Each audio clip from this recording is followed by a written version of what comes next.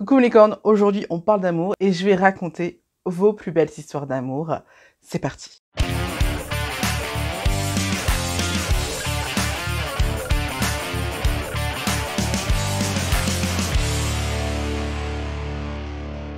Coucou on se retrouve pour un tout nouveau concept de vidéo, ça va être super sympa. À la base, à la demande de certaines d'entre vous, euh, j'allais faire une vidéo sur le mal alpha et les rondes. J'ai tourné la vidéo, euh, mais ça se voyait un peu que le sujet me barbait, donc euh, si vous voulez vraiment voir la vidéo, dites-le moi dans les commentaires, mais sincèrement, je trouve que j'apportais pas grand chose par rapport à la vidéo que j'ai tournée il y a deux ans sur euh, le fait qu'une femme ronde peut plaire à des hommes beaux gosses, dits beaux gosses, et dans lesquels je faisais un petit aparté sur le mal alpha. Franchement, je trouve que c'est pas la peine d'y revenir. Du coup, je me suis creusé la cervelle pour savoir quelle vidéo j'allais vous faire pour la Saint-Valentin, et je me suis dit que le mieux, ce serait peut-être de vous faire une vidéo où je raconterais vos plus belles histoires d'amour parce que bah écoutez, moi en ce moment je suis célibataire, j'ai envie de vous dire, j'ai envie de vivre ces relations amoureuses par procuration. Donc c'est parti, je vous ai demandé sur Instagram, sur Facebook et sur YouTube quelles étaient vos plus belles histoires d'amour. Comme d'habitude, c'est ma team Instagram qui a été la plus réactive et qui a donné toutes ces petites euh, histoires croustillantes dans les DM. Du coup, j'ai sélectionné quelques-unes de vos histoires. Je vais lire certains DM et d'autres comme c'est des messages vocaux et que ces personnes euh, veulent rester anonymes. Je vais pas mettre le son en plus, très honnêtement, au montage, ce serait très compliqué, sachant qu'en plus c'est une vidéo de dernière minute. Donc je me voyais pas galérer au montage pour pouvoir vous mettre tous les, euh, les enregistrements parce qu'il faut les monter. Donc trop relou à faire. Ce que je vais faire, c'est que je vais tout simplement vous résumer ce que la personne me dit. Du coup, première chose que j'ai envie de vous dire, toutes là, vous étiez tous en train de me dire que euh, vos histoires elles sont pas très euh, mais que voilà, vous aviez envie de participer et tout. Franchement, moi j'ai trouvé toutes vos histoires super belles. Donc sincèrement, euh, on croit euh, toujours qu'on est dans la banalité, alors qu'en fait, vu de l'extérieur, d'un point de vue de quelqu'un qui est célibataire et qui, qui n'a pas eu de romance depuis un petit moment, bah franchement vos histoires elles étaient toutes super belles, super attendrissantes. Et c'est pour ça que je vais toutes vous les lire. Petit aparté, avant de commencer j'ai envie de vous dire un truc, il y a un truc nouveau que je, suis en train de faire, c'est que je suis en train de mettre des chapitres sur toutes les vidéos. Parce que de temps en temps il y en a une qui vient me dire que mes introductions sont trop longues et que je parle trop, ce que je trouve entre nous assez déplacé de dire ça, mais bon, peu importe, à chacun son éducation. Euh, maintenant, si vous, ça vous gêne que je parle trop pendant les introductions, eh bien, j'ai fait des chapitres, ce qui fait que vous pourrez passer d'un chapitre à l'autre si ça vous intéresse pas. Le timecode sera toujours dans la description. Et sinon, sur la barre de, lecture, vous pouvez euh, avancer euh, la vidéo au point où vous voulez entendre. Donc, tout de suite, on va commencer avec vos témoignages et on va commencer avec le témoignage de... Je ne peux pas le dire parce qu'elle veut être anonyme. ça commence bien on va l'appeler Jennifer. Voilà, on va l'appeler Jennifer. Alors elle commence par me dire, on est un vieux couple, j'ai 36 ans et mon mari 41, mais on s'est rencontrés il y a 19 ans. J'étais donc très jeune, j'avais à peine 17 ans, et on s'est connus par Caramel.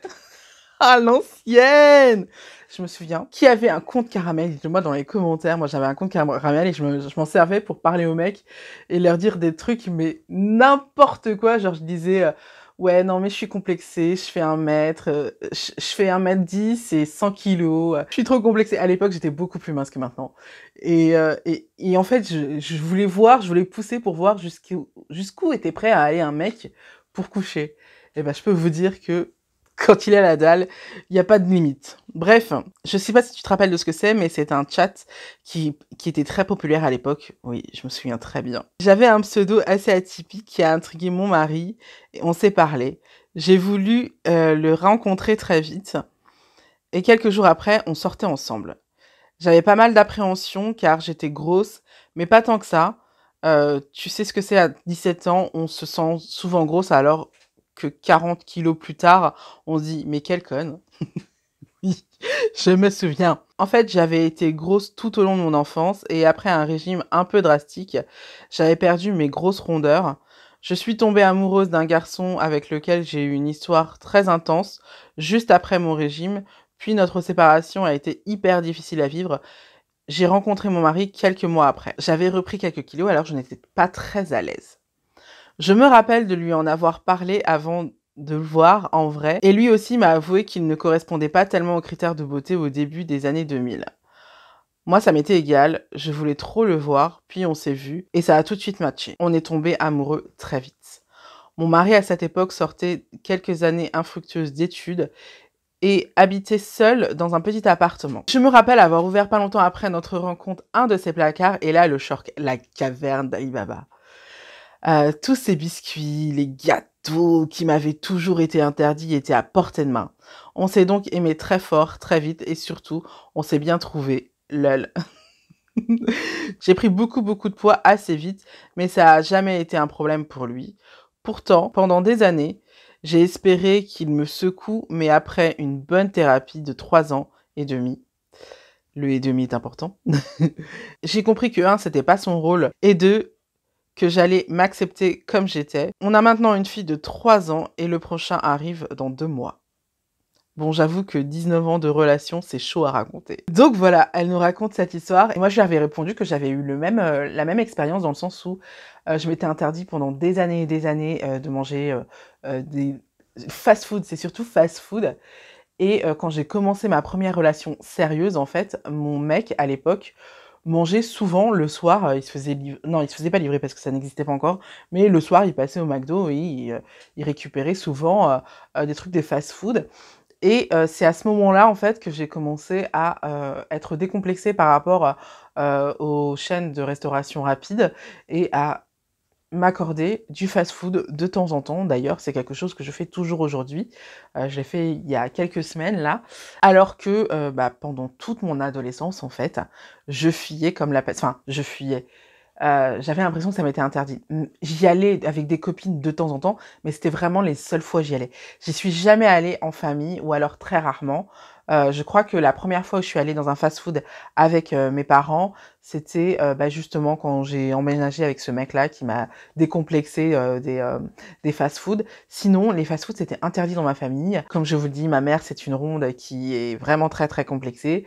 Et moi, j'ai vécu avec cette idée que en tant que ronde, il fallait que je fasse vraiment très très attention à mon poids. Comme quoi, ceux qui disent que vraiment les gros le sont parce qu'ils mangent n'importe quoi à n'importe quelle heure et qu'ils font pas de sport, c'est vraiment très très faux. Parce que, comme vous le savez, je suis plutôt du genre sportif, surtout à l'époque, j'étais hyper sportive parce que euh, bah, j'habitais à Paris. Et ceux qui vivent dans les grandes villes le savent, on marche énormément quand on vit dans une grande ville. Et moi, j'adorais descendre trois stations plus tôt, des fois quatre, et finir à pied. C'était vraiment mon kiff. Ou alors, des fois, j'allais vraiment dans les quartiers que je ne connaissais pas pour marcher, pour pouvoir euh, pour voir ce que ça donne, comment c'est. Donc, euh, je marchais énormément à l'époque. J'avais des mollets en béton. Et euh, pourtant, j'étais ronde. Donc vraiment, ça n'a vraiment rien à voir. Et donc, merci à toi, Jennifer, de nous avoir partagé ton histoire. Parce que je pense que c'est important de rappeler que bah, bien souvent, les rondes, elles découvrent euh, la nourriture, enfin la nourriture, euh, comment on appelle ça déjà? La junk food. Qu'une fois qu'on est en couple, parce que nos mecs ne se sont jamais privés de, de, de manger ce qu'ils voulaient, et que là, c'est là qu'on découvre ça en fait. Parce que quand t'es ronde, en fait, tu t'interdis ça. Donc, euh, je trouvais ça intéressant. Dites-le moi dans les commentaires si vous reconnaissez dans, cette, euh, dans ce schéma-là, parce que je crois qu'on est beaucoup à avoir euh, découvert bah, justement ça en, étant en couple. Donc, je vais continuer.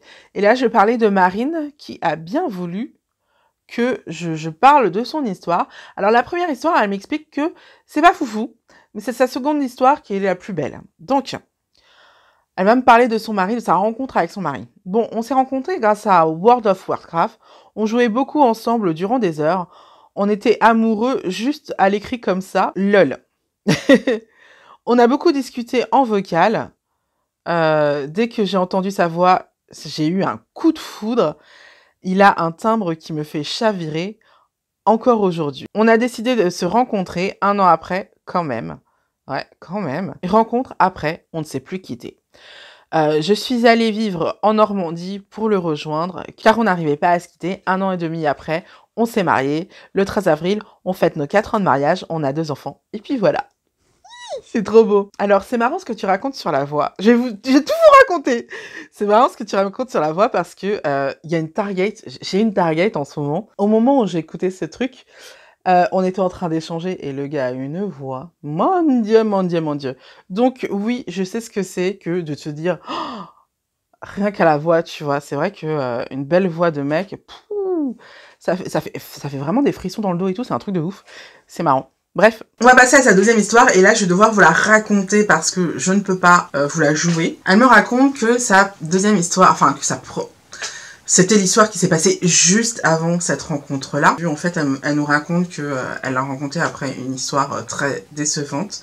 elle avait le cœur brisé à ce moment-là, elle voulait pas faire de rencontre. Et elle a rencontré ce mec, elle, n'explique pas où elle a rencontré son mec, mais en tout cas elle a rencontré ce mec qui lui a proposé euh, qu'ils sortent ensemble. J'imagine que c'est sur une application de rencontre ou un truc comme ça. Mais non, c'est pas logique puisqu'elle voulait pas faire de rencontre. Bref. Il a hyper insisté parce qu'en en fait il avait 4 ans de moins qu'elle, donc elle pour elle c'était mort. Pourquoi vous arrêtez à ce genre de choses les filles? Ça n'a pas d'importance. Bref, donc euh, il a insisté pour qu'elle se voit.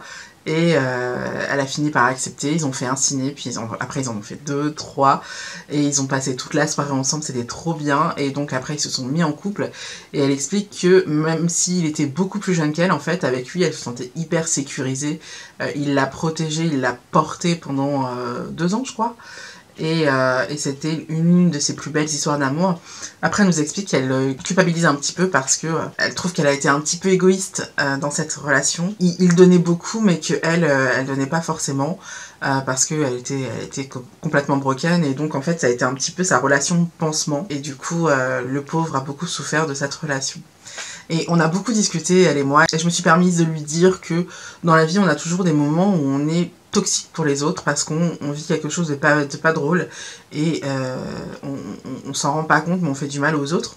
Mais après c'est aussi la responsabilité des autres de d'exprimer et de dire oui mais attends là t'es pas sympa. Parce que bah, c'est bien beau en fait de, se plaindre euh, longtemps après mais voilà. Et donc euh, en fait dans une relation amoureuse je pense sincèrement qu'il y a toujours deux responsabilités. Des fois il y en a un qui a plus de responsabilités que l'autre, mais il n'empêche que l'autre aurait pu mettre un le là. Parce que le mot que j'ai utilisé quand je parlais de relations toxiques, franchement, il est un peu galvaudé parce que oui, elle était euh, égoïste dans cette relation amoureuse, mais elle n'était pas non plus euh, machiavélique, quoi. Elle n'était pas non plus perverse dans cette relation amoureuse. Donc bon, voilà, elle voulait pas faire mal, elle se rendait pas compte juste.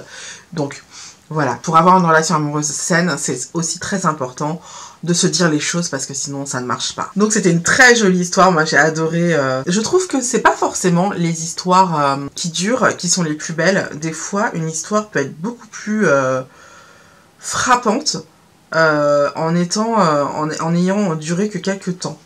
Donc voilà. On passe à la prochaine histoire et là je crois que Ophélie veut bien que je dise son nom, donc c'est parti Pour faire suite à la story, voici ma petite histoire.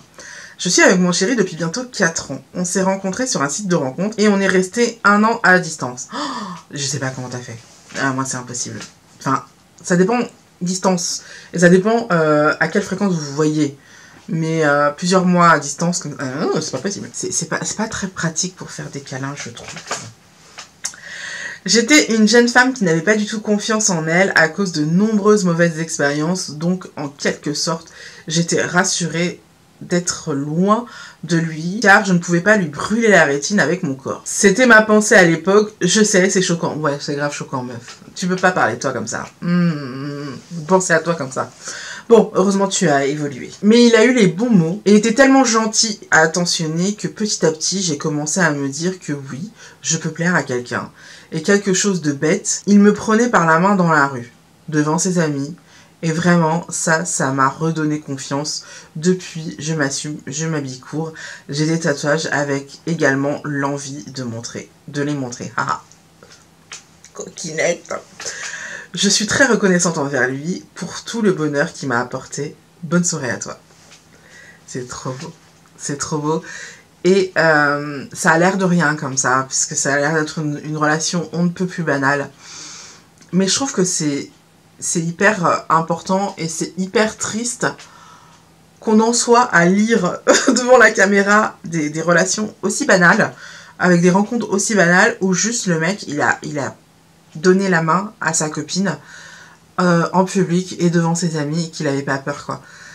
C'est triste, mais en même temps, je comprends pourquoi pour elle c'était important parce que c'est vrai que bah, beaucoup de mecs n'assument pas de sortir avec des grosses et bah, c'est hyper important pour nous de, de se dire que ça existe en fait et que c'est pas normal d'être traité différemment et qu'il faut pas l'accepter. Donc je vous le dis, des hommes qui assument sortir avec des rondes. On est d'accord sur le fait que les rondes plaisent à énormément de mecs, ça je veux pas y revenir. J'en ai déjà assez parlé dans, plein de vidéos, c'est pas le problème. C'est pas le sujet. Mais il faut savoir que plein de mecs sont aussi capables de s'engager avec une femme ronde et d'assumer une relation avec une femme ronde. Alors, je suis désolée, j'ai eu un petit problème de son. Mon micro s'est coupé parce que pour écouter un message, en fait, j'ai enlevé euh, le micro qui était branché à mon téléphone. Du coup, ça s'est coupé tout seul. Ça fait un moment que j'ai pas fait ça parce que d'habitude, je tourne avec mon portable en fait et euh, mon micro est directement branché sur mon portable. Du coup, j'ai pas besoin de gérer ça. Euh, mais là, comme je, dois lire mon portable, je, je tourne avec ma caméra d'avant et je trouve qu'elle me fait un teint de ouf, cette caméra. Elle est relou à, manier, mais elle me fait quand même un super beau teint. Hum, donc, euh, je vais peut-être recommencer à tourner avec, on va voir. Mais du coup, on va passer à la dernière de vos histoires. Et là, euh, je vais vous la raconter encore une fois, euh, moi, parce que, eh bien, elle m'a envoyé des messages vocaux, vous voyez, les messages vocaux, et bah, je peux pas vous les, vous les enregistrer, donc c'est pas drôle. Du coup, c'est moi qui vais vous les raconter avec mes propres mots. Donc, je ne sais pas si elle veut que ce soit anonyme. Au cas où euh, elle veut que ce soit anonyme, euh, on va l'appeler Claudia. je trouve que c'est très à propos, Claudia. Elle est d'origine portugaise et que depuis toute son enfance, en fait, tous les étés, elle va passer ses vacances au Portugal, chez sa grand-mère, et puis après, sa mère les rejoignait. Et une fois que la mère les rejoignait, elle partait dans le sud, il me semble, ou alors c'était dans le nord, c'est l'inverse, je sais plus. Euh, bref, donc euh, en tout cas, c'est à l'opposé de là où elle était euh, au Portugal, pour passer des vacances ensemble, pour faire des séjours, et ils avaient un, une sorte de périple tout le temps et euh, il passait par un hôtel. Bah, alors il dormait pas dans l'hôtel, mais il passait par un hôtel, je sais pas pour se sustenter, je sais pas pourquoi, mais il passait par cet hôtel. Et euh, il y avait une soirée à cet hôtel, et elle s'est mise à danser avec sa famille, et il y avait un petit garçon, euh, parce qu'elle, elle avait 9-10 ans à l'époque, et il y avait un petit garçon du même âge, et leur famille respective les poussait à danser ensemble. Et ils ont dansé ensemble, et là, coup de foudre. Coup de foudre à 9-10 ans, je trouve ça trop beau. Ils ont échangé leur adresse parce que à l'époque, les portables, ça n'existait pas, n'est-ce pas? Et puis, de toute manière, je ne crois pas qu'à 9-10 ans, tu aies un portable, normalement. Et donc, ils ont eu une relation épistolaire pendant des années, jusqu'à à peu près 15 euh, ans, où ils ont commencé à euh, chacun vivre leur vie. Et donc, ils se sont perdus de vue. Ils ont fait chacun leur vie de leur côté. Ils ont eu deux enfants chacun, avec deux personnes différentes. Et Claudia, qui n'était pas heureuse dans son ménage, pensait constamment à cet homme-là. Enfin, de temps en temps, elle y pensait, elle se disait, ah, c'est dommage quand même. Hein. Elle avait des regrets. Donc, ce qu'elle a fait un jour, c'est qu'elle l'a cherché sur Facebook. Heureusement, il y a Facebook. Je crois que Facebook a réuni beaucoup de couples hein, quand même. Hein. Donc, bref, elle le retrouve sur Facebook, ils se parlent. Il lui explique que lui aussi, il a eu des enfants, mais qu'il est séparé de sa femme. Ils décident de se revoir, ils se revoient à Paris, ils ont marché pendant des heures, elle lui a fait faire un marathon dans Paris, mais en même temps, c'est la plus belle ville du monde, j'ai envie de te dire, donc c'est normal. et, donc la magie était de nouveau là, c'était de nouveau le grand amour, donc ils ont décidé d'avoir une relation amoureuse ensemble, et aujourd'hui, ça fait... Euh, c'était quand elle m'a dit? Ah, je sais plus. Euh, je crois que ça fait deux ans aujourd'hui qu'ils sont mariés. Euh, ils n'ont pas encore d'enfants parce qu'ils viennent tout juste de, déménager. Donc voilà.